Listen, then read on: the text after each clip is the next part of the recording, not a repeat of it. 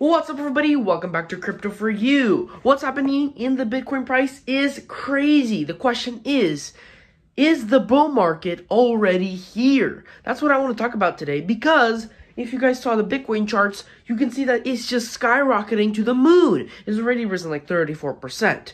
And so let's just quickly just go into the charts. As you can see, this is Bitcoin right over here. You can see it's rising all the way up you can see if we go on the daily time frame that it has done this in three quick days. It's just like a rocket flying up. Here's the cool thing. It has broken the previous higher high that we had over here. The previous higher high was at $25,000 and we rose all the way up to $26,600. This means that we created a higher high, which is a bullish sign. Another cool bullish thing is that we're doing an inverse head and shoulders pattern. Right over here, we have the shoulder, we have the head, and we have the other shoulder. Now, this is a bull pattern that can break us all the way up to approximately $35,000, which would be a rise up to 38 percent. That's a pretty big trade, to be honest. Now, if you guys think that we are not falling down, watch this. We have a huge support right over here at the 200 week moving average. Now, the 200 week moving average is interesting because it usually tells us when we're in a bull market or when we're in a bear market. It acts like a major resistance when we're in a bear market, like over here or right over here. But when we break it to the upside, it now starts acting as support, and it's a very good place for Bitcoin to rest or fall fall down to when it rises a ton. So, right now, if we manage to close this candle in the weekly time frame and confirm support and start rising up, well, this could be a sign that we're in a bull market. The problem is that this candle that we made closes in five days, and we rose so much that we probably do need a pull back.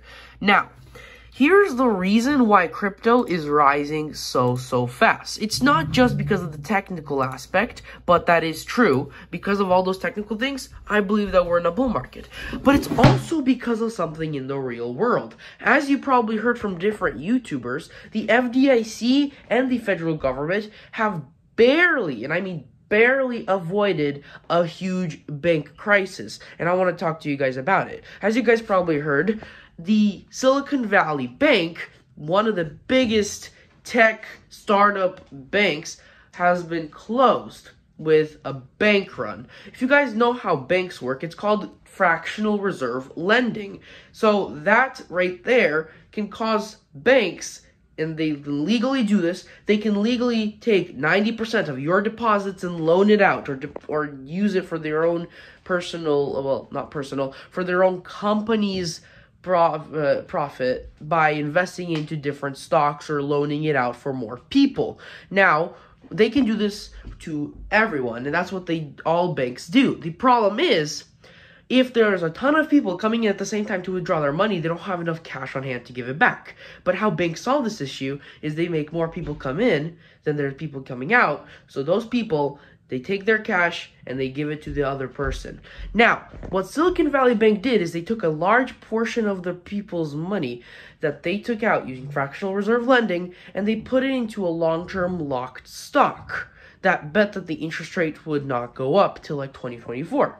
Now, guess what happened? The interest rates rose. The Fed raised them, and so they started losing money. They lost about $2 billion out of their, I believe, $21 billion investment.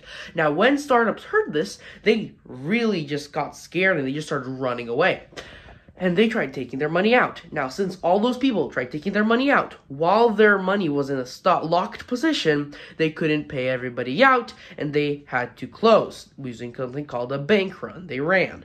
Now, the FDIC take, took over. The FDIC has a policy that basically means if a bank gets closed or runs or something happens to it, like getting bankrupt, they can give back up to $250,000, which usually covers a regular person. The problem is, Silicon Valley Bank is not a regular person's bank, it's a tech startups bank. And those tech startups usually have more than $250,000. And actually, 97% of tech startups in that Silicon Valley Bank had more than $250,000, so they wouldn't be getting all their money back. And that caused a ton of anxiety, which caused two more banks to close First Republic and Silvergate. Now, this was gonna go all over. People were gonna get anxious and all this, but guess what the FDIC did? The only way to stop this was by telling everybody to be calm and give you back the money. So that's what they did. They did something called a bailout. They basically gave all the money back to the people who were more than $250,000. They so nobody lost money. That was the only way they could ensure that people would not just start the entire Great Depression that happened in 1929. But guess what? Crypto was rising this whole entire time. Why? Well, because crypto is a decentralized currency. It's a basically created to you to be the bank. No one controls it. No bank bank owns it. It's just in the internet. Now, it also is trustless. You don't need to trust it. Everything is proofed. Everything is open sourced. Everything's transparent. There's nothing hiding. There's no one taking like money away from you.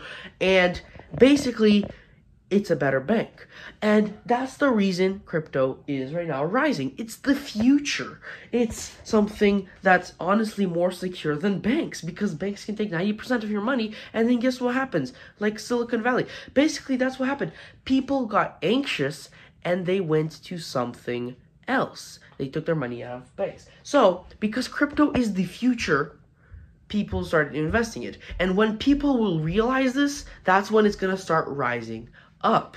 Now, for now, we can see that we're at about $20,000 still, $25,000. But with people in the real world understanding how cool crypto is, and with all these indicators and technical analysis, we could probably say that the FDIC started this pump, and we are pumping to new all-time highs because of this trading pattern. Now, for now, that is all I want to talk about in this video. What do you guys think? Do you think the Bitcoin bull market has started, or should we dump some more? Because me personally, I think we are almost done with the Bitcoin bear market. The bull market should start soon. I've actually been talking about this for a while. For now, that's all I want to talk about. If you did like this video, leave a like down below. Come on. Subscribe if you haven't already. Don't forget to click that post notification bell. I'll see you in the next video. Bye!